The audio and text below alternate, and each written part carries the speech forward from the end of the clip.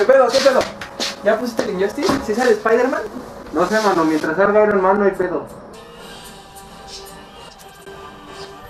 No mames, Ares. No mames, entonces también sale Kratos, ¿no? A huevo, también sale Storm, papá. No mames, ¿no es Emma Frost? Ah, neta.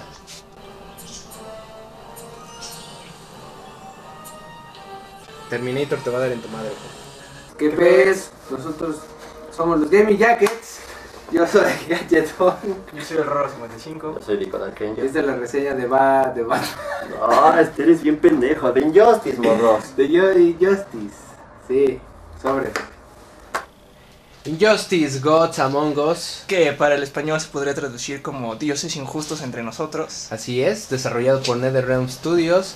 eh, los creadores de la saga de Mortal Kombat 9 que nos, Mortal nos Kombat 9. entregaron. Sigue estando a la cabeza Ed Boon, eh, que pues por eso se parece en sí a Mortal Kombat. Pero vamos a ver cuáles son las diferencias. Injustice Gods Among Us empieza con una metrópolis. ¿Metrópolis se llama la ciudad de Superman? Obviamente. Ok, que vale verga, ¿verdad? Porque el Joker plantó una bomba nuclear que le dio Lex Luthor y valió chosto. Esto no es spoiler, te lo explican en una serie de cómics que salieron antes del juego, así como para explicar el trasfondo de la historia de eh, pues esta entrega, ¿verdad? Eh, en resumidas cuentas, Joker eh, se quiere chingar a Superman porque está cansado de perder contra Batman, entonces lo envenena con el gas de el espantapájaros y se vuelve loco Superman, bla bla bla, se muere Lois Lane que tiene el hijo de Superman y vale verga todo, ¿verdad? Así como ellos estoy de impactado. Aquí está Batman interrogando al Joker. Preguntándole que por qué hizo esas mamadas. Cuando llega Superman, que es el principal antagonista de este juego. Pero si Superman nos quiere a todos. Superman es puto. Entonces llega bastante emputado. Bueno ya. y se lo chinga. Bueno, lo que vieron hace un rato es un universo alterno. Y esto es como lo que pasó en realidad, cómo es que Metrópolis se destruyó. Todos los héroes y villanos se están dando en la madre. Una escena bien cabrona. O sea, se puede decir que la historia de este juego está bien hecha, ahora sí. La neta sí está bien hecho. Generalmente en los juegos de pelea la historia pesta, pero esta vez sí estarás entretenido viendo a tus héroes favoritos y villanos más odiados dándose en su madre como ahorita. ¡No mames! ¡guau! Ryan Reynolds. Shazam. Bueno, para los que jugaron Mortal Kombat esto se les hará muy conocido. La historia se va desarrollando por capítulos, donde cada capítulo es un personaje. Son 20 personajes. No más, 24. Son 24 personajes. ¿tá?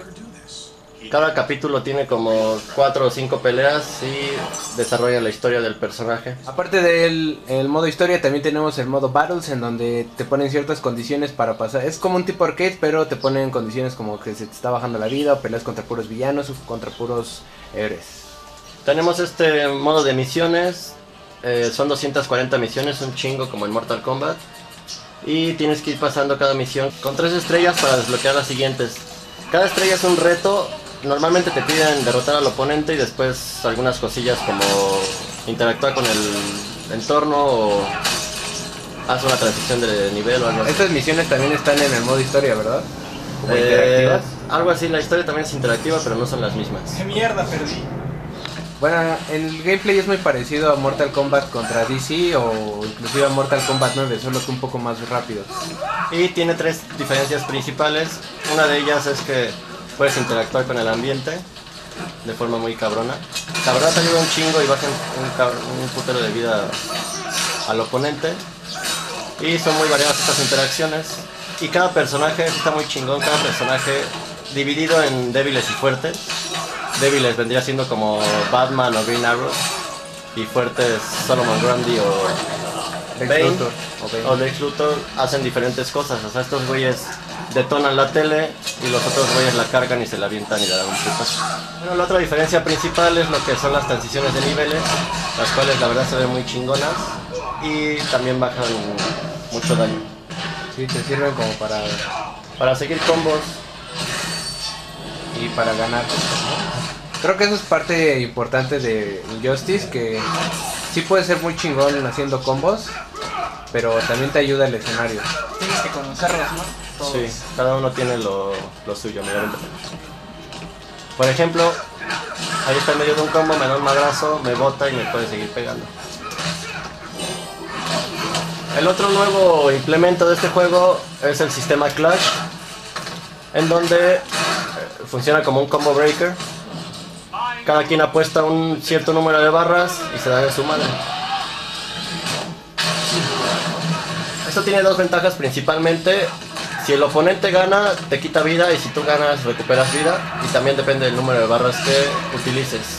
Este sistema solo puede ser utilizado una vez que tu barra gris haya acabado y aparezca esa barra que Superman tiene arriba de su vida.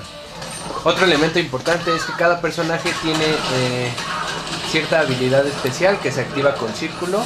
Está ahí en, la, en tu barra de especiales. Eh, Killer Frost, por ejemplo, si dejas presionado círculo, eh, da putazos congelantes. Y Flash, como pudieron ver, eh, ralentiza el tiempo. Algunas habilidades están medio culeras. Por ejemplo, Aquaman eh, saca agüita alrededor de su cuerpo Aquaman y se de moja. combos. Eh, el Joker hace una especie de counter y se le llena una barrita, pero la verdad no sirve para mi madre. ¿Qué hace Nightwing, amigo? Nightwing, que es igual que Wonder Woman, cambia de sus bastoncitos a, digo, de, de sus pinches palitos. A las batacas, ba- baquetas, papá. Ándale, de esas madres. En cambio, Doomsday se hace verde como Hulk y tiene como un campo de fuerza, ¿no? Una armadura. Como pueden ver están variadas y pues sí, algunas sí sirven más que otras, entonces de ahí depende Depende de la habilidad de cada quien y de lo que quieras hacer. exacto. También tienes un especial, lo que era conocido en Mortal Kombat como X-Ray, donde tienes todas tus barras completas y los usas para darle en la madre a tu oponente. Que nada, estos ataques son muy vistosos y no son tan... O sea, sí te bajan, sí te hacen cierto daño, pero no son tan No son tan efectivos realmente, es mejor hacer un combo cabrón con las barras que un ataque que de una una sola especial. Cuanto al aspecto gráfico, en Justice se ve bien eh, en los niveles y en los efectos de los personajes. En sus ataques se ven bien y las transiciones entre escenarios también. Solo que sí hay, bueno, ahí como pueden ver, se ve bien padre, solo que hay ciertas cosas que sí se ven medio de la verga. Como hay cierto daño que se le hace a los personajes, pero de repente se ve bien culero, o sea, ven esa mermelada en su hombro. Parece transvesti además. Es como si...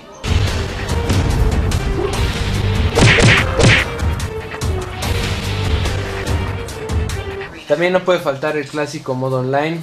Eh, tenemos custom match, player match, va subiendo de rango. eh, vas desbloqueando. No va subiendo de rango, no hay rango, nada más son niveles y los- el nivel se sube con lo que sea. O sea, Es lo mismo, rango, versus. nivel, búscalo en el No, pero es no es rango, güey, porque, bueno, Bueno, a ver, oye, pero este modo está muy chingón, este que es como King of the Hill. King of the Hill. Me gusta de que ya puedes ver las peleas, no como en el pinche Marvel, que tenías que ahí andar, nada, salían las Veías tarjetitas dándose Pero en UMBC ya puedes verlo. A la verga. Bueno, aquí está muy bien este detalle, ¿no? Aquí te das en la madre con un puto. Son Batman, se pagan los Batman, siempre salen. En sí, el modo online tiene. pues, No tiene. Está bien hecho, ¿no? No hay lag.